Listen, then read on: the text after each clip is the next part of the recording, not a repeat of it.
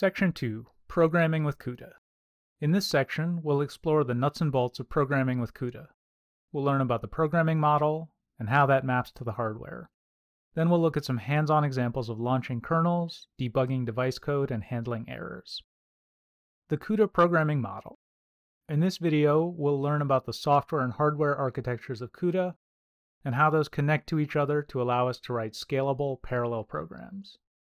We're going to cover three main topics. First, the CUDA software stack, which consists of the driver and runtime APIs. Second, the execution model, which is based around kernels, threads, and blocks. And finally, the hardware architecture, which provides fast and scalable execution of CUDA programs. There's a lot to learn here, and it can get a bit abstract, so bear with me. We'll get back to hands-on examples in the next video. The CUDA display driver includes a low-level interface called the Driver API. This is available on any system with an NVIDIA driver. You can access it directly, but it's usually not very convenient. We won't be using it much in this course. The CUDA toolkit includes a higher-level interface called the Runtime API. You can access it by using the CUDA syntax extensions and compiling your program with NVCC. By default, NVCC will statically link your program with the runtime library. You can also link dynamically and ship the runtime library with your application. In our array add example, you can see that we include the CUDA runtime API header file. This provides all the basic functions we used like CUDA malloc and CUDA memcopy. Both APIs are versioned, and the driver API is backward compatible but not forward compatible. So the driver API version on your system must be greater than or equal to the runtime API version that you built against, or the program won't run. You can find out the API versions with the device query sample that we looked at in the last section.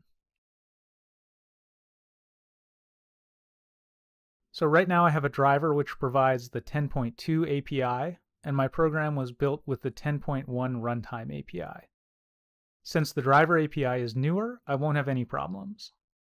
If you're shipping an application that needs to run on systems with older drivers, you may need to use an earlier version of the toolkit. You can find the minimum required driver in the release notes for each version of the toolkit. Now we'll talk about the execution model. You'll recall that in our example program, we put our device code in a special function called a kernel. Kernels are launched from the host and then executed in parallel by multiple threads on the device. Typically one thread for each data element you want to process. Here's the kernel from our example. It adds one element from A and B to produce one element of the result. Threads are grouped into blocks, and the blocks are arranged into a grid. Blocks and grids can have one, two, or three dimensions, which we'll learn more about later. Threads within the same block share certain resources and can communicate or synchronize with each other. This will become really important later on when we start implementing some more complicated parallel algorithms. The arrangement of the grid can also impact performance, as we'll see in the next section. Finally, let's talk about the hardware architecture. CUDA devices contain multiple streaming multiprocessors. These use a single instruction multiple thread or SIMT architecture with hardware multi-threading support. We'll look at each of these concepts in a little more detail. A CUDA device is made up of several streaming multiprocessors, or SMs. Each SM contains a number of CUDA cores, as well as some cache, registers, and memory, which are all shared between the cores. The device also has a larger pool of global memory, which is shared by all the SMs. The exact numbers for all of this depend on your hardware. For example, in this system I have a GeForce GT 1030. It has three SMs with 128 CUDA cores each for a total of 384 cores. These CUDA cores are very minimal. They don't have any branch prediction or speculative execution, which allows hundreds or thousands of them to fit on a single chip. Every CUDA device is identified by a compute capability, which indicates its general hardware features and specifications. For example, my card is compute capability 6.1, which means, among other things, that each SM has 64,000 registers and 96 kilobytes of shared memory.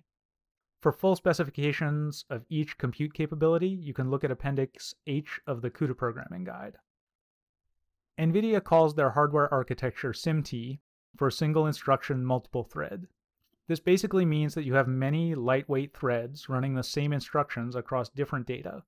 Unlike SIMD vector instructions that you have on CPUs, where each instruction has a fixed vector width, in a SIMT architecture you can adjust the number of threads, and each thread actually has some independent state.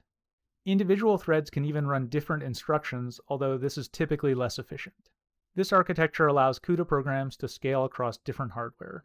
You don't have to worry about the exact number of SMs or cores available, because CUDA will take care of creating and scheduling all your threads. CUDA hardware executes threads in groups of 32, which are called warps.